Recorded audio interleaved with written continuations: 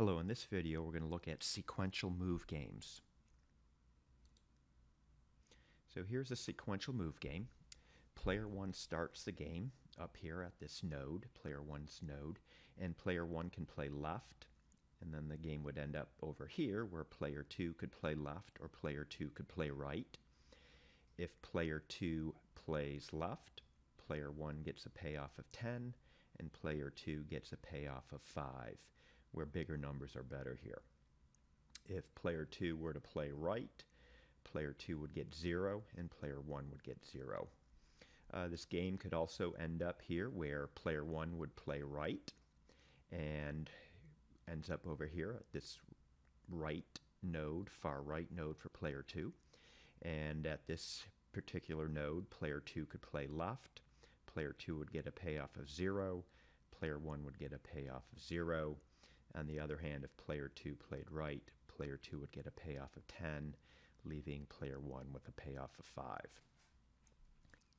So what we want to do is we want to solve for the equilibrium of this game or the subgame perfect equilibrium.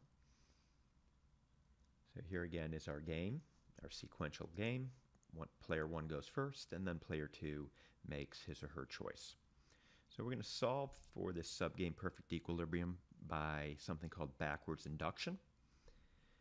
And we're going to start basically uh, not at the beginning of the game, but basically sort of at the, the end of the game. So we're going to assume we're at player two's left node. What is that? That means we're going to be over here. Here's node one for player two and the other node for player two. We're going to be at the left node. So if this game were to end up here, what would player two do? Well, player two wants to get the highest payoff. If player two goes right, player 2 gets 0. If player 2 goes left, player 2 gets 5. So player 2 only cares about his payoff. So if the game were to end here, player 2 would choose left, player 2 would get a payoff of 5, and player 1 a payoff of 10. So as we just stated here, player 2 will choose left. A payoff of 5 is better than a payoff of 0 for player 2. Now let's assume that we're at player 2's right node over here what would player 2 choose to do in this case? Again, player 2 wants to get the highest payoff.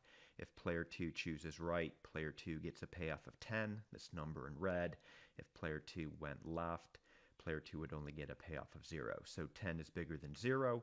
Player 2 prefers bigger numbers, so if the game were to end up at this right node here, player 2 would play right. So player 2 will choose right. Payoff of 10 is better than 0 player one knows how player two will respond. If player one plays left, player two plays left, and that would give a payoff of player one of 10. So player one knows that if player one plays left, player two will play left, and in that case, player one would get a payoff of 10.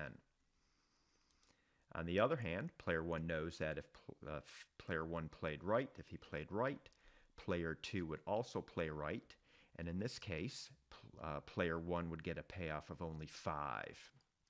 So what does player one want? Player one wants the highest payoff, and that is going to be by playing left.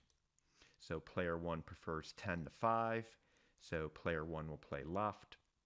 Game ends up in this left node here. Player two would then choose left, and that is going to be our sub-game perfect equilibrium, 10 and 5. 10 for player one, 5 for player two.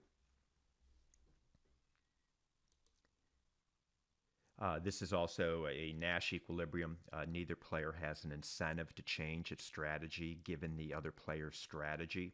So, given that player one played left, player two wouldn't want to change their strategy to right. Okay. Um, and likewise for uh, player one, player one wouldn't want to change your strategy from left uh, given what uh, player two is uh, playing. All right, uh, one other thing I want to talk here briefly about is cheap talk. Uh, player two prefers this payoff over here of getting 10 instead of 5. So player 2 may try to convince player 1 to change his strategy from left to right. So player 2 could threaten to always play right in an attempt to convince player 1 to play right should this threat scare player one? So here's sort of the idea. Player two says, I'm always going to play right. So player one goes, okay, if I play left and player two plays right, because player two is always going to play right, I'm going to get zero. Well, that's no good. If player one plays right, player two is always going to play right, then I'd get a payoff of 5 as player 1. And since 5 is better than 0, player 1 then says, well, okay, uh, I, am going to play right then. I don't want to I don't want to get 0. However, we're going to argue this is a cheap threat. If player 1 were to play left, will player 2 actually play right? So if player 1 played left, if player 2 plays right, player two is they're harming themselves. Uh, they could have played left and got five, but instead they played right and got zero. So this is really cheap talk. This is a non credible threat. Player two will not play right if player one plays left because player two will be hurting itself. So player one can ignore that, uh, that threat. It's a non credible threat. All right, uh, that's it. I hope you found this video helpful.